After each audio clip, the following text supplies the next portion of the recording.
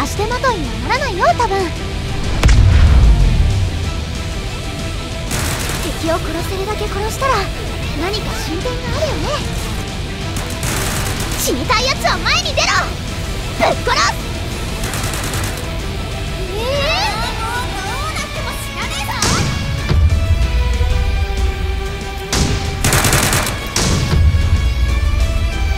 ま乗りかかった船だし。土産話ができるのも悪くないね。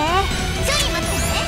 後ろからいきなり攻撃は。びっくりするからやめてね お嬢さんそいつは右とと左子に行ってやってくんないつか油断しないで行くよ。片っ端から片付ける。終わりだ